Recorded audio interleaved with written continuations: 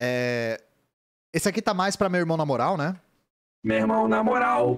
Porque nós vamos falar dele, o homem de ferro, o cabeça de nós todos, o Elon Musk.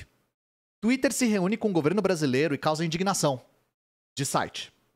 A BBC Brasil informou que procurou Twitter e, como resposta, recebeu emoji de fezes. Gabriel Damasceno, aqui no Povo. De acordo com informações do G1, o Twitter teria causado indignação nas autoridades brasileiras durante uma reunião nesta segunda-feira, que contou com a participação do ministro da Justiça e Segurança Pública, Flávio Dino. Uma advogada da plataforma teria chegado a dizer que um perfil com foto de assassinos de crianças não violava os termos de uso da plataforma e não se tratava de uma apologia ao crime. Pois é, né, gente? A liberdade de expressão tá como? Tá feliz, Monark? Tá feliz, Glenn Greenwald? Espero que vocês estejam. Porque liberdade de expressão tá tendo. Liberdade de expressão para fazer apologia a. Enfim, eu não quero nem falar em voz alta. Tenho até medo de falar isso aqui em voz alta e, e violar alguma diretriz da Twitch. O ministro e a assessora responsável pelo tema ministério, no ministério, Estela Aranha, teriam ficado indignados com o posicionamento da empresa, que desde que foi comprada por Elon Musk, mudou o tom com a imprensa e representantes oficiais. Ah, é porque o Elon Musk ele é muito serelepe. Gente, é impressionante, né? Como uma criança mimada, leite com pera e ovo maltino, que se jogava no chão do shopping fazendo escândalo, com muito dinheiro na mão pode fazer, né? É, é impressionante. Um, um man-child, assim, um bebezão gigante com, com muito dinheiro na mão é, é um negócio, assim, realmente, pelo menos um grande experimento antropológico, né? A BBC Brasil informou que procurou o Twitter para comentar sobre conteúdos violentos contra crianças nas redes e, como resposta, recebeu um emoji de fezes.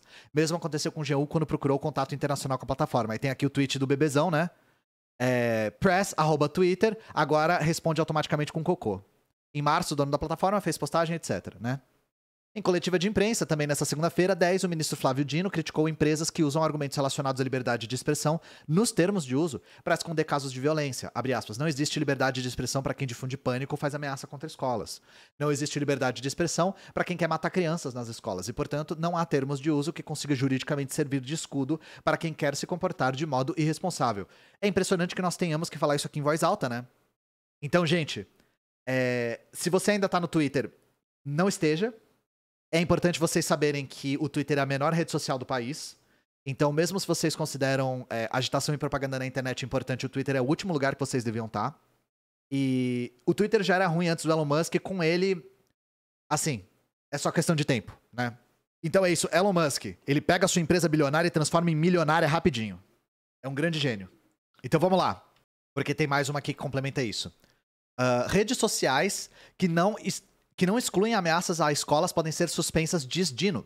Segundo o ministro da Justiça e Segurança Pública, Flávio Dino, já foram identificados cerca de mil perfis com postagens do tipo. Desculpa, tô gaguejando um pouco. Andrea Mauscher. O ministro da Justiça e Segurança Pública, Flávio Dinosaur, anunciou nessa quarta-feira uma portaria com novas medidas para reforço da segurança e prevenção de ataques a escolas. Ele também afirmou que a Secretaria Nacional do Consumidor avaliará a responsabilidade de plataformas digitais na divulgação de ameaças. Segundo Dino, as redes sociais poderão ser suspensas no país, caso não excluam publicações de conteúdo do tipo. Eu só digo uma coisa, gente, eles estão deixando a gente sonhar. O Flávio Dino ameaçar suspender o Twitter no Brasil?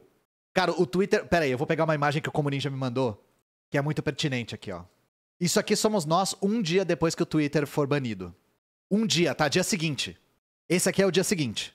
Jesus vai voltar, o Brasil vai se ajeitar, todo mundo vai ganhar um cachorro caramelo, Ninguém mais vai ter calvície.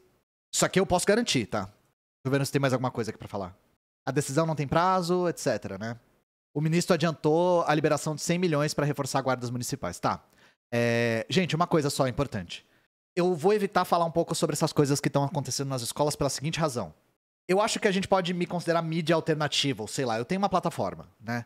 E a maneira como a mídia trata dessas coisas é muito perigosa e pode até reforçar e estimular. Então eu tô evitando falar porque eu não sei como falar. Eu não sei nem se eu devo falar.